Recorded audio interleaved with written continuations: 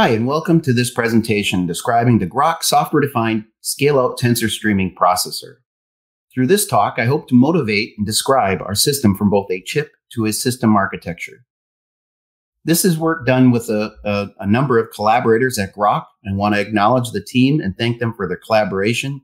It's a big team effort, and we're a startup, and it takes everybody to, to work hard and accomplish big, big goals. So thank you to the broader team. What I hope to do today is to, to give you a background on the TSP microarchitecture, to motivate how we build systems from that, to describe that, describe some workloads, and then leave you with a summary of what we just described. What we did is we started by taking a look at the software defined approach that really re-examines where the software hardware interfaces are in a multiprocessor. Specifically, we have a static dynamic interface where we have the compile time versus runtime. And we have a hardware software interface that the ISA or the instruction set architecture is responsible for implementing and enforcing. And what we're describing here is a, is an approach where we turn over more control to the software and use more of the silicon to do, well, hardware things and leave the things that can be done in software where they are best, best served in the software stack. Designing for determinism requires that we make some design choices and really adhere to a design philosophy. We had to make sure that the hardware was completely controllable by the compiler. In other words, it wasn't about abstracting away the details of the hardware. It's about explicitly controlling the underlying hardware. And the compiler has an oracular view of what the hardware is doing at any given cycle. Unlike traditional systems, uh, traditional CPUs, that embrace aggressive, out of order execution, speculative execution, a lot of techniques to expose additional instruction level parallelism and memory concurrency in the memory hierarchy. We've taken a different approach. We use just a single flat scratchpad memory that's 220 megabytes, and we allocate tensors in that memory explicitly so the compiler knows where the tensors are and how they're moving on chip. We describe the memory concurrency. There's a, an abundance of memory concurrency that the compiler can take advantage of. We describe that through our partitioned global address space and make that accessible across the entire system. Complexity at the system level often creeps in because these systems grow to be tens of thousands of processing elements, often consisting of heterogeneous components like CPUs, GPUs, smart NICs, FPGAs, all of which have different failure characteristics, and performance profiles. As a result, you end up with a lot of performance variation and response time latency variation, for example. And that latency variation ultimately slows down an internet scale application.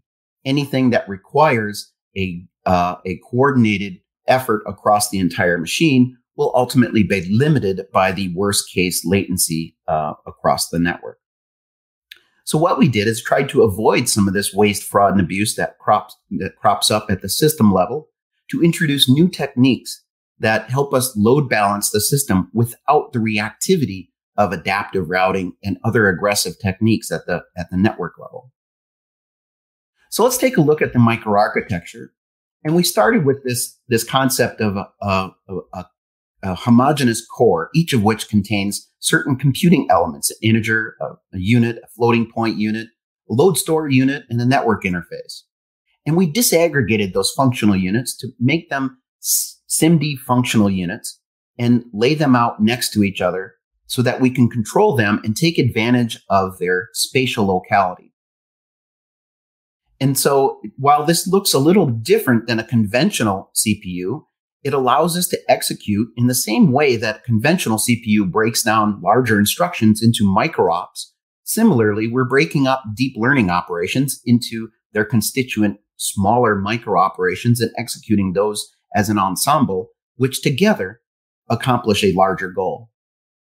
And so if we just take a look at the, at the chip architecture, we can see that the chip is organized in the spatial orientation where we have functional units laid out next to each other and they collaborate with each other by passing operands and results between each other in an efficient way called chaining. We chain the output of one functional unit to the inputs of an adjacent downstream functional unit. On the chip, there's a large MXM module, which is our workhorse. It's our matrix unit. It, it contains uh, storage for 409,600 weights. In other words, a lot of weight parameters that we can take advantage of the data parallelism on the chip. What this allows us to do is to provide tremendous compute density with over one teraop per square millimeter of, of silicon area. So if we take a step back and look at the software abstractions this allows us, we have multiple different functional units on the chip. And those are organized into simple building blocks that are uh, 320 elements long. This is the SIMD unit I was referring to. Each SIMD unit is controlled by an instruction dispatch unit, instruction control unit at the bottom of the chip. These functional units are laid out next to each other in the same way that you can think about uh, abstractions or across different classes in software. So there's different different specializations for these different functional units. We've got an MXM or a matrix unit, a vector unit for pointwise operations, an SXM or switch execution module for data reshaping, and a memory unit to, to handle on-chip memory. These are laid out next to each other and to take advantage of their spatial uh, orientation. So we can stream data on the chip east and west and take advantage of that spatial locality. In a sense, capturing the data flow locality that's common in all these machine learning uh, models. What this enables is an ISA that empowers our software stack. We explicitly turn over control to the software, specifically the compiler, so that it can reason about correctness and schedule instructions on the hardware from a first principle standpoint. Specifically, there's 144 on-chip instruction control units, each of which control the dispatch to their functional units that they're associated with. This allows us to keep the hardware overhead of, of dispatch very low. Less than 3% of the area is used for uh, instruction decode and dispatch, while putting most of the chips uh, area to good use executing functional models. So one of the things is this, this uh, provides a very simple extraction to the, the compiler that each functional unit interacts with a set of stream register files. And these SRFs, as they're called, uh, provide the conduit through which data inputs and data results are communicated to the other functional units. You can think about this as sort of a, a tensor assembly line that connects up the different functional units. And these stream registers are a very simple model for the compiler to reason about. It's only one cycle hop between each stream register. There's no arbiters, no queues, no reordering that's allowed either in load stores or network references. So the compiler truly does have oracular information that it can reason about the correctness of every program it generates. At the heart of this is an instruction set that is a domain specific instruction set for operating on machine learning models. Specifically, we take machine learning operations like conv2d and we break them down into an ensemble of in micro instructions that are executed across the, the chip at each different functional unit. They cooperate to produce this higher level instruction like a conv2d or a maxing, max pool operation. And the, the instructions are broken down in their different uh, instruction set according to each functional unit. The data types supported by the hardware natively are both int signed and unsigned int 8, as well as floating point 16, so half precision floating point. In addition, the, the vector unit, the vector processor that does pointwise elements, supports a superset of that, including FP32. So if we just take a look at the functional units, every functional unit has a certain number of compulsory instructions, namely instruction fetching, no-opping, and synchronization. And these are the fundamental instructions necessary to coordinate the execution. At the heart of the chip is our matrix multiply unit. The matrix engine operates by having a 320 element vector, and there's 320 features in each matrix, giving it a 320 by 320 integer operation. For floating point operations, we can do 320 by 160. This allows us to, to handle both integer and floating point. Floating point is a little unique since a pair of, of byte planes cooperate to produce one FP16 output. In the center of a chip is our vector execution module or VXM. It's the vector pointwise operations that are common in machine learning models. For example, GELU or ReLU uh, are, are common, as well as other transcendental functions uh, are present in the vector unit to take advantage of uh, pointwise operations. Each vector lane supports 16 ALUs, and that's connected up to our on-chip memory in SRAM through our memory functional unit. The memory functional unit has 88 slices in, uh, in, in across the chip, each of which can do one read and one write. So in principle, the memory system supports up to 176 way concurrent execution. That's a tremendous amount of memory concurrency to, to exploit. And then lastly, at the SXM is our switch, our switch execution module. And the SXM provides kind of the Swiss Army knife, data manipulation, data reshaping, on-chip data movements, and off-chip data movements. As we see here, this is referencing our chip-to-chip or C2C IO, including PCIe is also handled by this the SXM unit. So let's take a, a, step back and see how we package this all together to create systems from these components. We first start with the Groq chip, which I just briefly described. That's packaged with a heatsink on a card, and we package eight of those cards into a Groq node. We then package eight plus one spare into a Groq rack and make that accessible in the cloud. This scale out organization is quite unique. Number one, it takes advantage of the packaging hierarchy to make a low diameter network.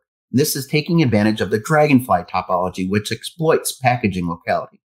It creates what we call a software scheduled direct network.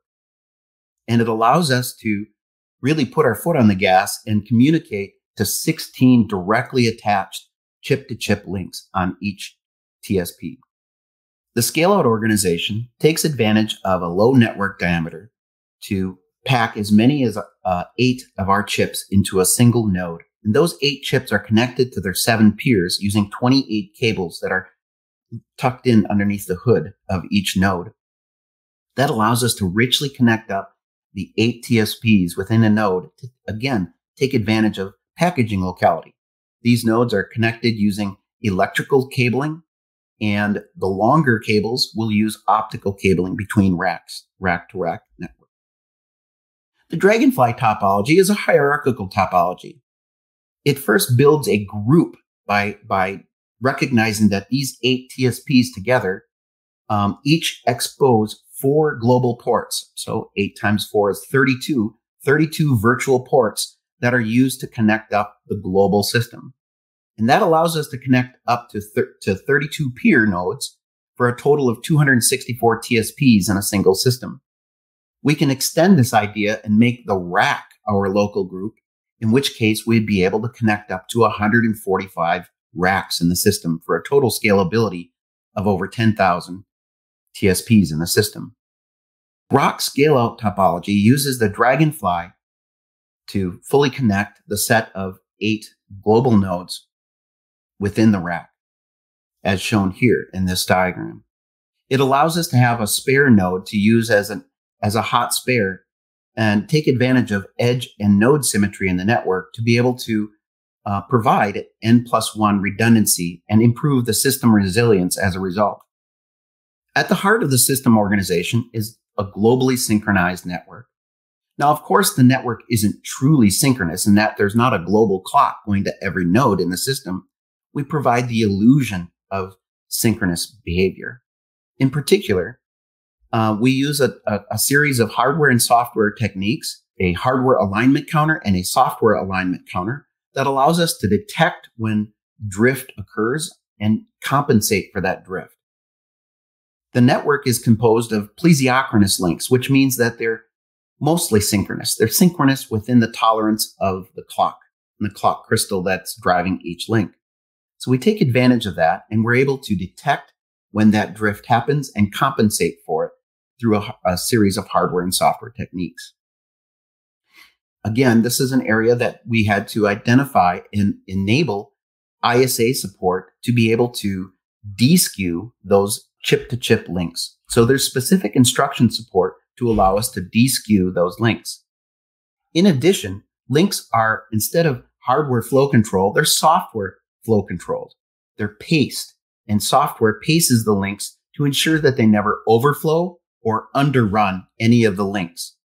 At the heart of this, we rely on forward error correction so that we can have a fixed latency across every network link. And this is what allows the compiler to be able to reason about the time in flight and to reason about how long it takes for a message to arrive at its destination. Conceptually, when the machine comes out of reset, there is some initial independent, these counters are initially independent of one another, and we bring them into lockstep. And they may drift slightly over time, but from time to time we deskew them and bring them back into lockstep. And this is how we maintain that illusion of synchronous behavior across the distributed system. So unlike conventional networks that really have uh, rely on a hardware arbitration scheme to, to dynamically contend for a set of output ports, we take a different approach in that we make all the physical network ports schedulable by the compiler. The compiler can literally schedule the network links just like it would schedule an ALU or a matrix unit. This alleviates some of the more conventional approaches that are reacting to congestion in the network. Instead of reacting to that congestion and doing adaptive routing to try to ameliorate the hotspots that result from contention, we instead take a first principles approach of avoiding the contention altogether and spreading the traffic pattern across the available path diversity in the network to expose and take advantage of the additional bisection bandwidth. One of the things that this allows us to do is to treat the tensors as a message. In other words, we're, we're routing vectors as our packets, and those vectors occur back to back in time as a contiguous stream of vectors forming a tensor. And that allows us to frame a message as a sequence of vectors. This allows us to encode a, a message on the network very efficiently with only 2.5% encoding overhead. At the heart of this, we want to take advantage of both minimal and non-minimal routing. Every TSP in the system has exactly one minimal path between every source destination pair. However, there are lots of non-minimal paths. For example, if we wanted to route from TSP0 to TSP3, there's one minimal path, but there's many non-minimal paths. And the software, the compiler in this case, can look at the size of the tensor and decide how many, how many uh, paths across which to spread that to minimize the serialization latency as it travels across the network.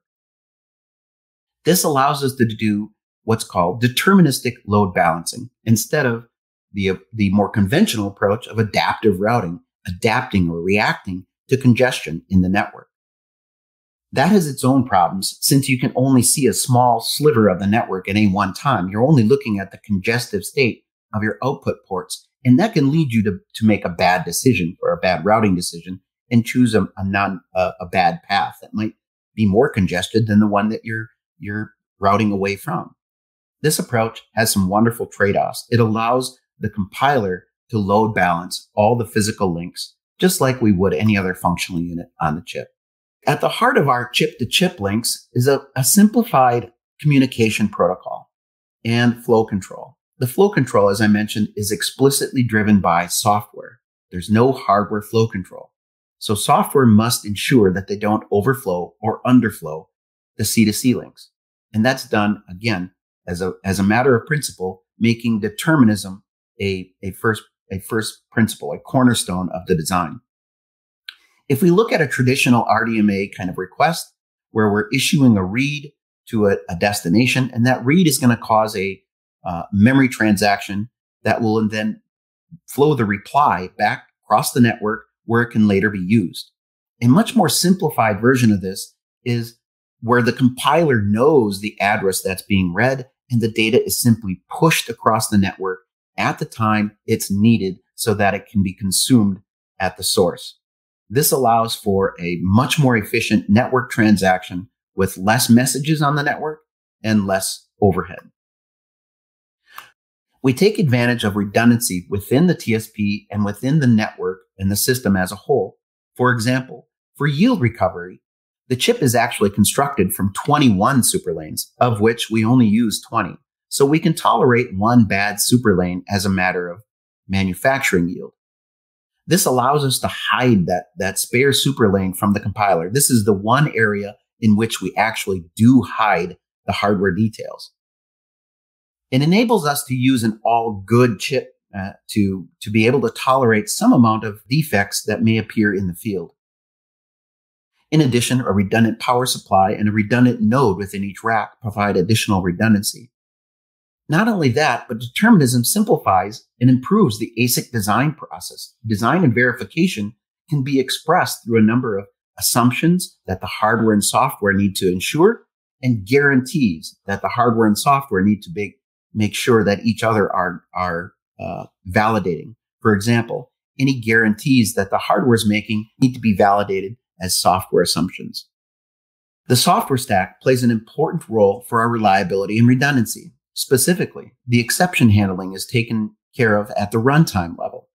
This is why the forward error correction is needed on all the links. If we encounter an error, it requires a replay, a software replay, and that is handled through the runtime. To protect all the on-chip data structures, we use SecDed or single error correction double error detection to protect all of the data paths, all the stream registers, all the instruction buffers and instruction queues on the chip.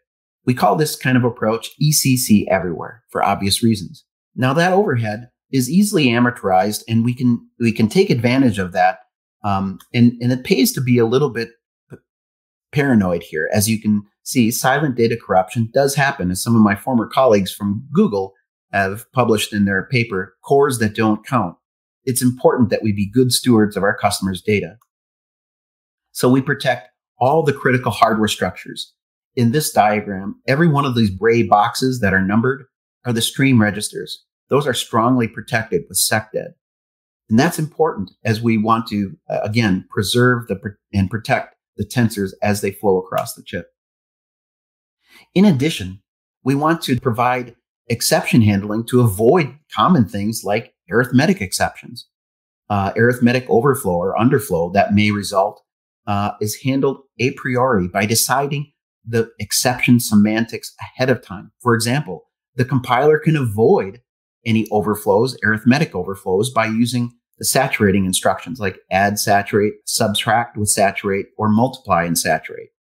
That allows us to avoid having a, a value spill over and uh, go from a very big value to a very tiny value as it overflowed the, the bit precision. So if we look at our workloads that we're uniquely capable at, um, they, they tend to all be related to linear algebra, since that's the workhorse of machine learning, as well as a lot of HPC codes.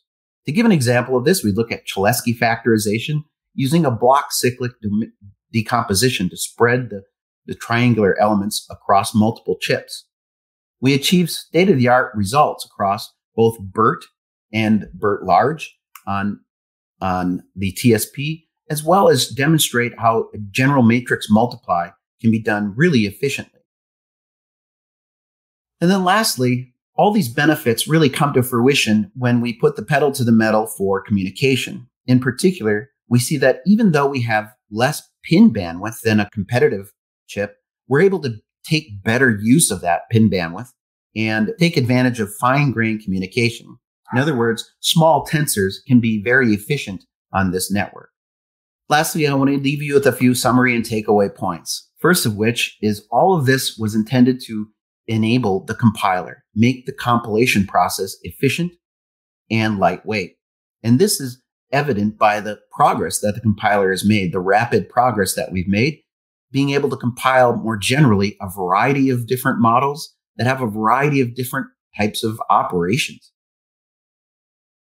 So if we look at this more broadly, what we're trying to accomplish is predictable and repeatable performance that provides low latency and high throughput across the entire system.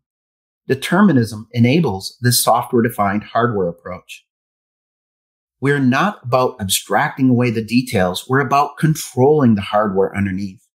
And we want to do that by exposing the right set of architecturally visible state, turning that over to the compiler so that it can reason about correctness from first principles, making software and exception handling handled at the compile time and at runtime, respectively. And lastly, we enable this synchronous communication model, which allows us to do lock free communication across very large systems. And that's a real superpower that we hope you'll be able to take advantage of. Thank you for your time and thank you for your attention. We hope you'll reach out to us at Groq, and we are hiring if anyone is interested.